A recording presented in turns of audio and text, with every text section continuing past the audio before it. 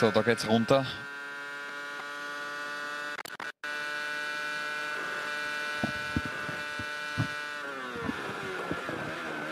Alex, du darfst mitfahren mit dem Nico. Gut, ich habe ein Soundproblem, ich höre nicht, was er macht, aber er macht seine Sache gut. Hier durch Kurve 2 geht es raus aus dem ersten, zweiten, dritten Gang hinauf bis in den siebten. Bremspunkt ist dann etwa bei 80 Meter in den dritten Gang hinein. Da hängt es ein bisschen nach außen, da muss man ganz vorsichtig ans Gas gehen. Das macht auch perfekt hinein in die schnelle Passage, setzt das Auto gut um, Vollgas durch, durch Kurve 7 und dann schön kontrolliert bremsen durch die Hanal-Kurve hinaus.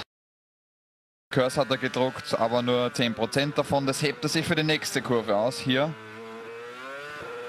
Vermutlich beim Rausbeschleunigen, ja genau, da drückt er auf den Kursknopf, drückt hier die Batterien raus, holt sich 50% nochmal dazu.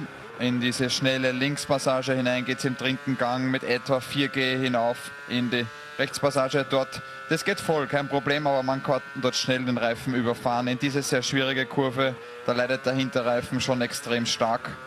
Kommt ganz weit raus, super durchgezogen, sehr viel Minimum Speed hat er mitgenommen in die letzte Kurve. Dort kann man nämlich nur verlieren und nichts gewinnen. Man versucht immer viel zu spät zu bremsen, aber er macht es natürlich meisterlich. Und wie immer schaut es furchtbar einfach aus wenn so ein talentierter junger Mann